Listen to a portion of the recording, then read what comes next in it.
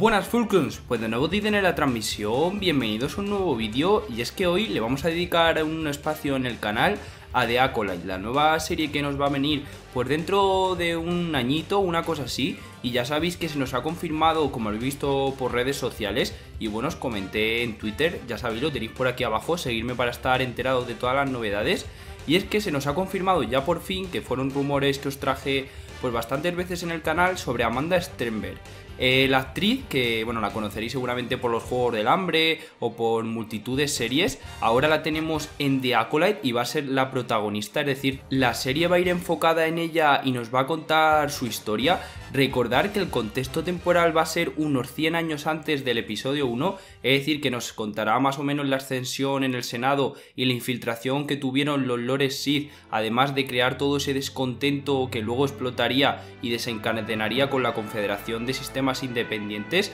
al unirse todas esas formaciones de la galaxia como lo podían ser la Federación de Comercio, el Clan Bancario y muchas más. Aparte, estoy seguro que en esta serie se centrarán totalmente en explicar, ya sea hasta público más metido en el mundillo de Star Wars o ya sea público general, en explicarnos la regla de dos y cómo al final funcionaba esto y cómo la seguían los Sith para concluir, como ya sabemos, con todo lo que ocurrió con Sidious, o bueno, con Sith Palpatine, y cómo Plagueis le tomó como aprendiz. Y en esto es lo que nos vamos a centrar en este vídeo, ya que he visto algún descontento general o gente a lo mejor pues un poco intrigada, ya que a lo mejor con la protagonista de esta serie pues se cargaban algún otro personaje de Legend y no lo iban a adaptar al canon de la misma manera que, bueno, que es verdad que cada adaptación que hacen al canon, pues se toman sus licencias como es normal para que encaje todo dentro de la cronología de la historia. Pero bueno, a lo que voy es que mucha gente se pensaba que a lo mejor se cargaban a dar plagueis y divagando un poco, pues a lo mejor hacían que la maestra, o bueno, el maestro de, de Palpatine fuera esta Amanda Sterber, que todavía no conocemos el nombre de su personaje. Hoy os vengo a sacar de dudas con este tema, porque es verdad que Plagueis es un personaje que le hemos visto muchísimo más en Legend, pero en el canon tenemos algunos toques o algunos contextos en los que ya conocemos al personaje y se le ha hecho referencia en varios medios, desde películas hasta novelas. No olvidéis que si os gusta el vídeo y os apetece apoyar el canal, ya sabéis, dejaré un buen like, suscribiros si no lo estáis y después de comentaros todo esto, vamos ya a hablar de todo ello. Para empezar, recordar que Plagueis era de la especie de los Moon, más específicamente, un macho de esta especie, como hemos visto representado tanto en Canon como en Legend, con esos ojos anaranjados tan míticos y que lo hacen pues tan intrigante, podríamos decir, aparte de ser un planificador meticuloso, como nos cuenta bastante bien en el episodio 3 La venganza de los Sith, en esa charla en la que se encuentran en el teatro, cuando están exhibiendo esos Mon Calamari, esa especie de bailes en las burbujas de agua, cuando le cuenta Palpatine a Anakin por los poderes oscuros que necesitaba y como vemos cuando ya 100% le acaba de seducir para que cruce la línea hacia el lado oscuro,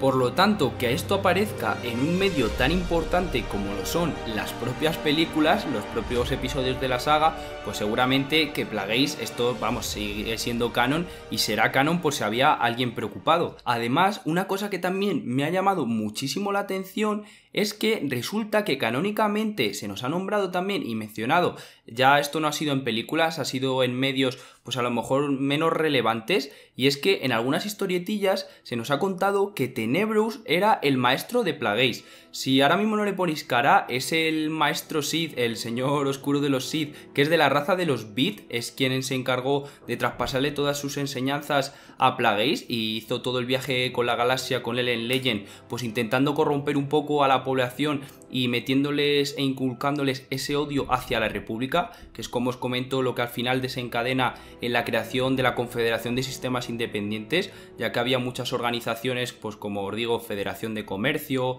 Clan Bancario y muchas más, pues que concordaron en la misma idealización y dieron ese paso hacia adelante.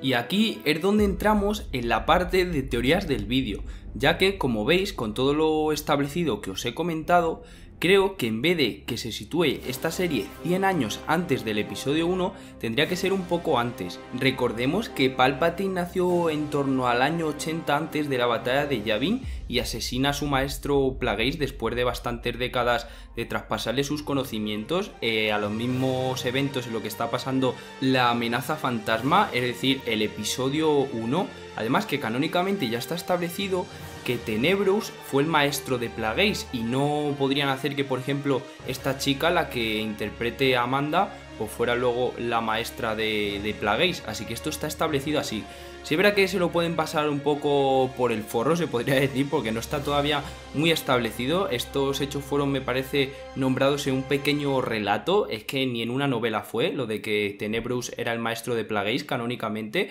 Y se verá que esto se lo podrían cargar. Pero yo veo más que a lo mejor, en vez de la serie situarse en el 100 años antes de la batalla de Yavin, se establece unos 70-80 años más atrás. Por lo tanto, confluiría todo lo que está ocurriendo en la era de la Alta República y también tendríamos el comienzo de esta serie, viendo como a lo mejor esta chica, cuando tiene un maestro que le enseña o una maestra, al final luego traspasa todos sus conocimientos al Biz, es decir, a Dar Tenebrus y luego ya seguiríamos toda esa línea y ya pues entraríamos en la trilogía de precuelas, original y secuelas, siguiendo todos esos eventos y conectando de una manera perfecta. No sé qué os parece esta idea, gente. Si es verdad que, como os he dicho, a Plagueis lo vamos a tener sí o sí y está establecido canónicamente. Este personaje, pues no se lo van a cargar. Aparte de que también tiene muchísimos fans y creo que dentro de la historia de Star Wars aporta bastante. Así que nada, ya sabéis, dejadme por abajo vuestras opiniones y comentarios, ya que me gustaría leerlas y montar un pequeño debate por ahí, porque creo que da para, da para chicha, esto tiene debate. Y ya sabéis, suscribiros si no lo estáis para no perderos ningún tipo de contenido relacionado con Star Wars. Yo me despido por aquí, así que nada, adiós.